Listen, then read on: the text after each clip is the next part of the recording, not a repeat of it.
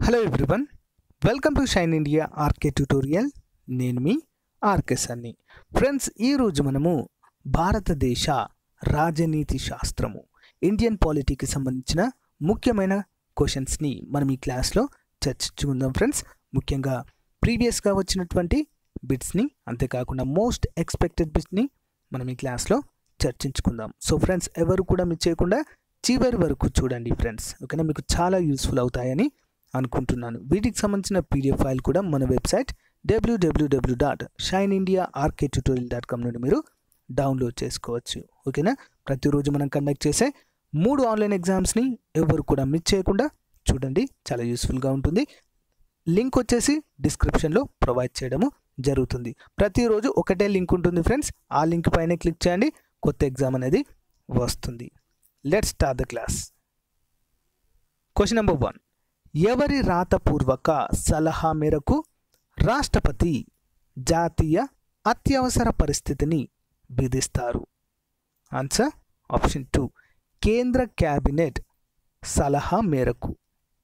Next question రాష్ట్రపతి అనుమతి లేనిదే ప్రవేశపెట్టబడని బిల్లు ఏది?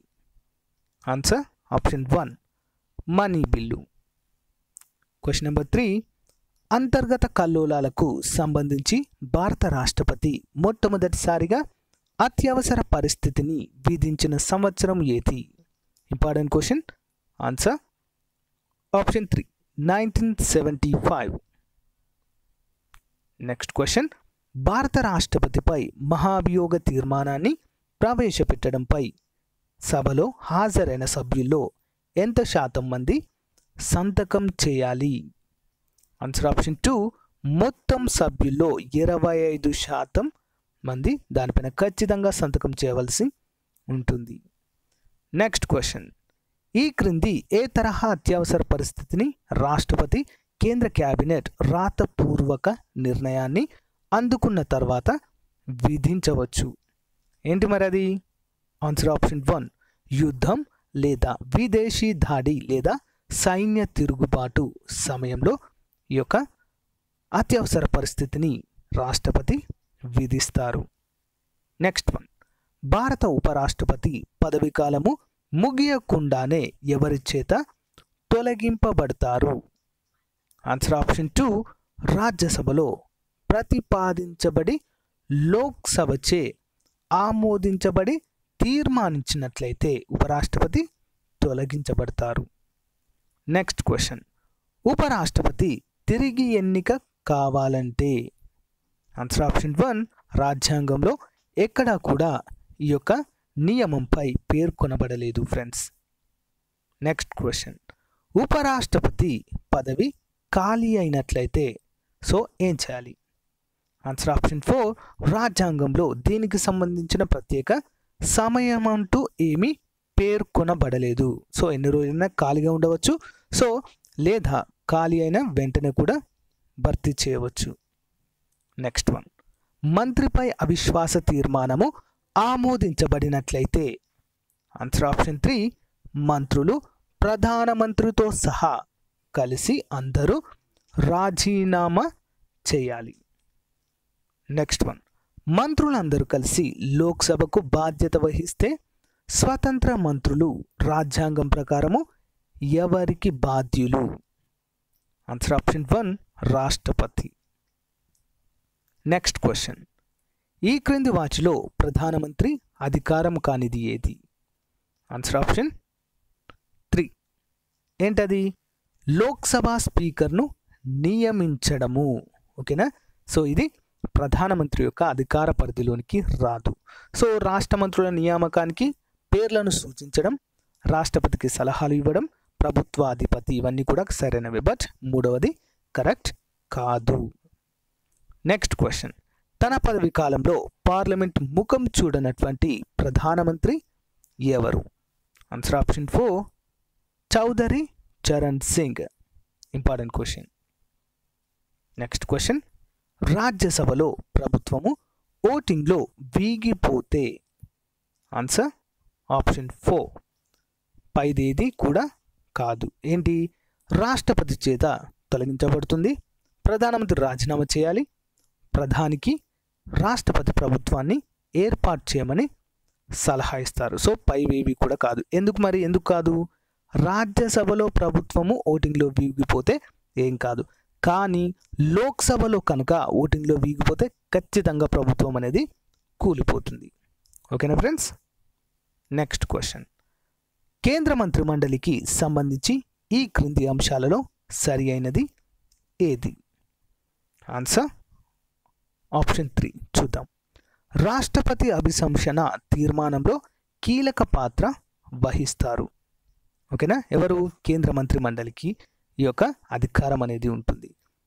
నెక్స్ట్ మిగతావన్నీ కూడా కరెక్ట్ కాదు ఫ్రెండ్స్. రాష్ట్రపతికి ముఖ్య సలహాదారు అనేది కాదు అంతర్జాతీయ అంతర్జాతీయ సరి అయినవి కానివేవి అంటే ఇది ఒక్కటి మాత్రమే. రాష్ట్రపతి అభిశంసన తీర్మానంలో కీలక పాత్ర వహిస్తారు అనేది సరైనది కాదు. రాష్ట్ర మంత్రి ముఖ్య సలహాదారుగా అంతర్జాతీయ సంబంధిత సంబంధించి పాలనా బాధ్యతలను నిర్వహిస్తారు.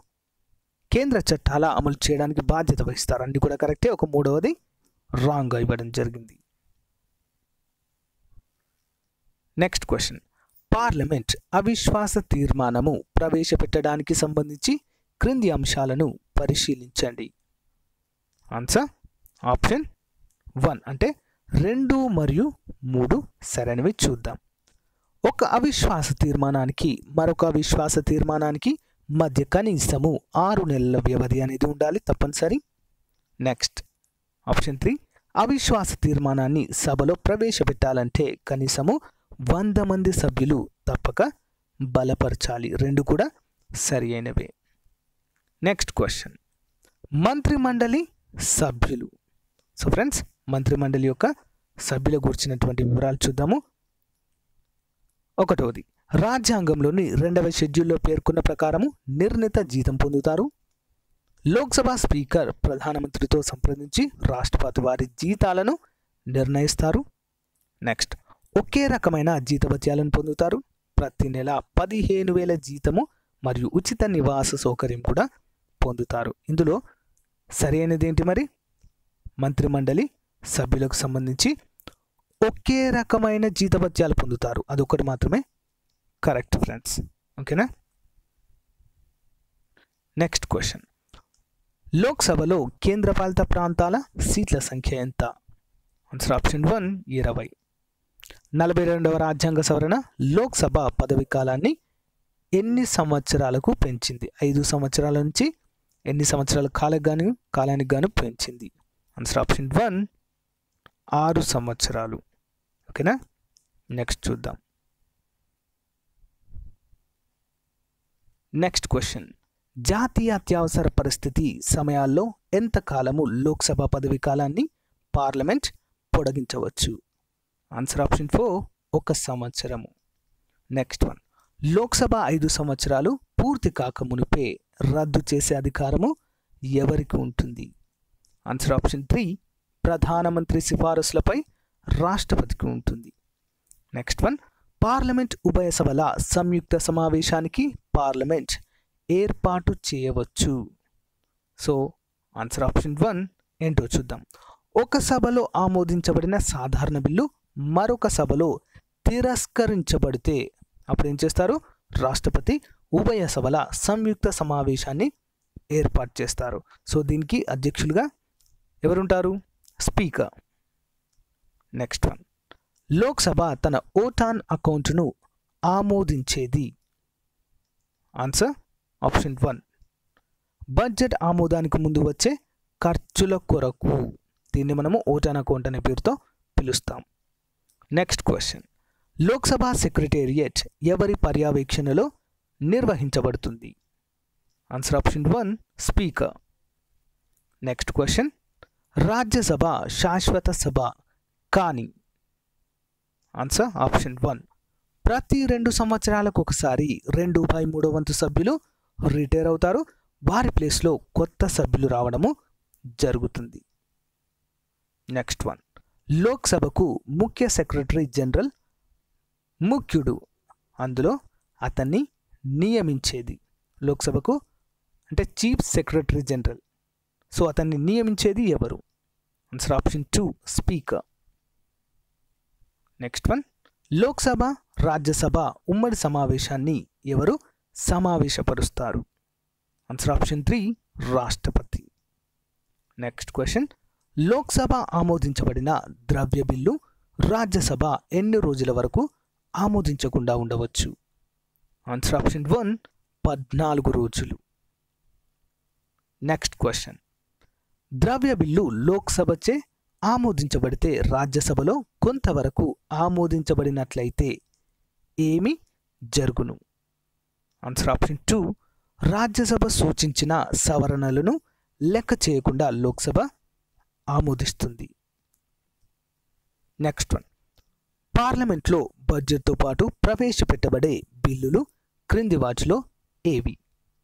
ఆన్సర్ ఆప్షన్ త్రీ ఆర్థిక bill appropriation bill.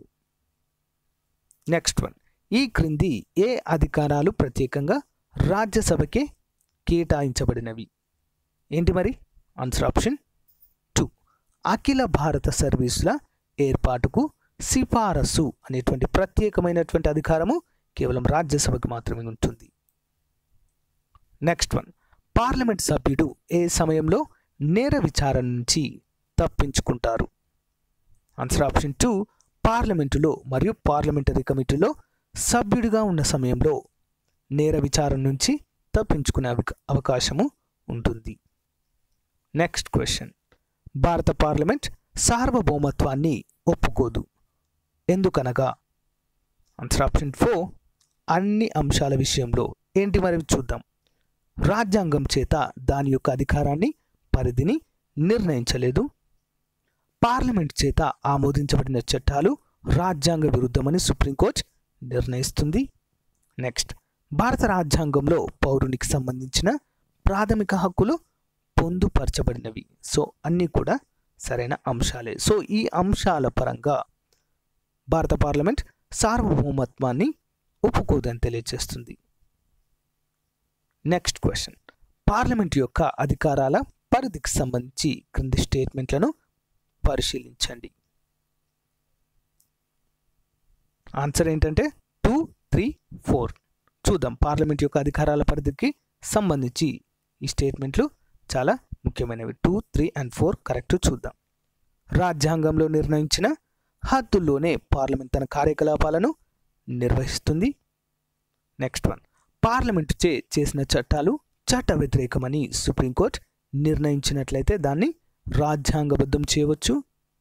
నెక్స్ట్ రాజ్యంచే కల్పించబడిన ప్రాథమిక హక్కులను నిలుపుదల చేయడానికి పార్లమెంటుకు అధికారము ఉంటుంది. సో రెండు మూడు నాలుగు సరి అయినవి. Next question Lok Sabha speaker deputy speaker అందుబాటులో లేనప్పుడు లోక్సభకు నాయకత్వం వహించేది ఎవరు? ఆన్సర్ ఆప్షన్ త్రీ స్పీకర్ చే ప్రకటించబడిన ప్యానెల్ సభ్యులు. ఇంపార్టెంట్ క్వశ్చన్ నెక్స్ట్ వన్ ప్రభుత్వ ఖాతాల కమిటీ తన నివేదికను ఎవరికి సమర్పిస్తుంది? ఆన్సర్ ఆప్షన్ వన్ లోక్సభ స్పీకర్కి నెక్స్ట్ క్వశ్చన్ పార్లమెంట్ ఉభయ సభల సమావేశము జరగాలంటే హాజరైన సభ్యులలో ఎంత కూరం లేదా కనీస సభ్యుల సంఖ్య ఉండాలి? ఆన్సర్ ఆప్షన్ ఫోర్ ఒకటి బై పదవ వంతు. నెక్స్ట్ వన్ రాజ్యసభ సభ్యులతో సంబంధము లేనటువంటివి ఏవి? ఆన్సర్ ఆప్షన్ త్రీ మాత్రమే. రెండవది ఏంటది? అంచనాల సంఘము. నెక్స్ట్ క్వశ్చన్ అంచనాల సంఘానికి సంబంధించి క్రింది స్టేట్మెంట్లలో సరి అయినటువంటిది ఏది? ఆన్సర్ చూద్దాం. రాజ్యసభ సభ్యుడు దీనితో సంబంధం కలిగి ఉంటాడు. నెక్స్ట్ వన్ దీని మూడవది దీని సభ్యులు సంవత్సర కాలానికి దామాషా పద్ధతిలో ఎన్నుకోబడతారు. నెక్స్ట్ దీని సభ్యులలో ఒకరిని స్పీకర్ చైర్మన్గా నియమిస్తారు. వన్ త్రీ ఫోర్ సరి అయినవి. అంచనాల సంఘానికి సంబంధించి. Next one. ఈ క్రింది ఏ సంస్థకు కంట్రోలర్ అండ్ ఆడిటర్ జనరల్ మార్గదర్శకుడిగా తాత్వికుడిగా వ్యవహరిస్తాడు? ఆన్సర్ ఆప్షన్ వన్ ప్రభుత్వ ఖాతాల సంఘానికి. నెక్స్ట్ క్రింది స్టేట్మెంట్లలో సరికానటువంటిది ఏది? ఆన్సర్ ఆప్షన్ ఫోర్ సరికానిది. ఏంటి? లోక్సభ సమావేశము ముగిసే సమయానికి లేదా ముగిసే నాటికి రాజ్యసభలో పెండింగ్లో ఉన్న బిల్లు లోక్సభలో ఆమోదించబడని బిల్లులు మురిగిపోతాయి అనేది ఏంటి? సంబంధించి సరికాని అంశము. సో సరైన ఏంటో చూద్దాం. లోక్సభ సమావేశము ముగిసే నాటికి లోక్సభలో పెండింగ్లో ఉన్న బిల్లులన్నీ మురిగిపోతాయి. సో పర్ఫెక్ట్ ఎగ్జాంపుల్ చెప్పాలంటే రెండు వేల పద్నాలుగులో ఓకేనా? సో మోదీ గవర్నమెంట్ కొత్త ప్రభుత్వం ఏర్పాటు చేసే నాటికి ఉన్నటువంటి బిల్లులు ఏవైతే ఉన్నాయో లైక్ త్రిబుల్ తలాక్ కావచ్చు నెక్స్ట్ వాహనాల బిల్లు కావచ్చు సో అవి రెండు మురిగిపోయాయి. సో కొత్త ప్రభుత్వము ఏర్పాటు కాగానే వాటిని తిరిగి ఆమోదించుకోవడం జరిగింది. సో ఆ విధంగా. నెక్స్ట్ లోక్సభ సమావేశము ముగిసే నాటికి లోక్సభచే ఆమోదించిన బిల్లులు రాజ్యసభలో పెండింగ్లో ఉన్న బిల్లులు మురిగిపోతాయి. ఎస్ నెక్స్ట్ లోక్సభ సమావేశము ముగిసే నాటికి రాజ్యసభలో పెండింగ్లో ఉన్న బిల్లులు లోక్సభచే ఆమోదించిన బిల్లులు మురిగిపోవు. ఓకేనా? వన్ టూ త్రీ మూడు కూడా సరి అయినవిగా చెప్పుకోవచ్చు. నాలుగవది తప్పు. నెక్స్ట్ క్వశ్చన్ లోక్సభ కస్టోడియన్గా ఎవరిని భావిస్తారు? Answer option one speaker next question ఈ క్రింది స్టేట్మెంట్లలో సరి అయినది లేదా సరి అయినవి ఏంటి? ఆన్సర్ ఆప్షన్ ఫోర్ నాలుగవది మాత్రమే సరి అయినది ఏంటి? పార్లమెంట్ ఉభయ సభలకు నామినేట్ చేయబడిన సభ్యులు ఉపరాష్ట్రపతి ఎన్నికల ఓటింగ్ కలిగి ఉంటారు.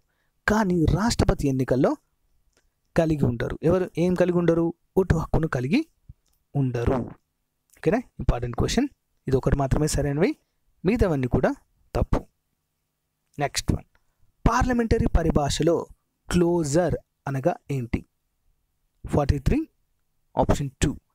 తీర్మాన ఆమోదంతో చర్చ ముగింపునే క్లోజర్ అంటారు. Next question. ఈ క్రింది ఏ కమిటీ పార్లమెంటుకు సంబంధించిన రెగ్యులేటరీ ఆర్థిక ఖర్చులతో సంబంధము కలిగి ఉంటుంది? ఆన్సర్ ఆప్షన్ వన్ ప్రభుత్వ ఖాతాల సంఘము. Next question. భారత కంట్రోలర్ అండ్ ఆడిటర్ జనరల్ నివేదిక స్క్రూటినీ చేసే పార్లమెంటరీ కమిటీ ఏది? ఆన్సర్ ఆప్షన్ టూ ప్రభుత్వ ఖాతాల కమిటీ. Next question. పార్లమెంటరీ సంయుక్త సమావేశంలో బిల్లు ఆమోదించబడాలంటే? ఆన్సర్ ఆప్షన్ వన్ సాధారణ మెజారిటీతో దాన్ని ఖచ్చితంగా ఆమోదించాలి. Next question. పార్లమెంటరీ వ్యవహారాల్లో ఇండియా కాంట్రిబ్యూషన్ ఈ క్రింది వాటిలో ఏంటి? ఆన్సర్ ఆప్షన్ వన్ శూన్య గంట లేదా zero hour important question next one Lok Sabha తన పదవి కాలం ముయ్యకుండానే ఐదు సంవత్సరాల కాలంలో ఎప్పుడు రద్దు అవుతుంది ఓకేనా లోక్సభ తన పదవి కాలం ఇంత ఫైవ్ ఇయర్స్ అది ముగియకుండానే ఎప్పుడు రద్దయ్యే అవకాశము ఉంటుంది. ఆన్సర్ ఆప్షన్ టూ ప్రధాని సలహాపై రాష్ట్రపతి రద్దు చేసే అవకాశము ఉంటుంది. నెక్స్ట్ క్వశ్చన్ పార్లమెంటులో ఒక సెలెక్ట్ లేదా జాయింట్ కమిటీ రెండు సభలలో ఏర్పాటు చేసేది ఏంటి? Answer option one Lok Sabha speaker.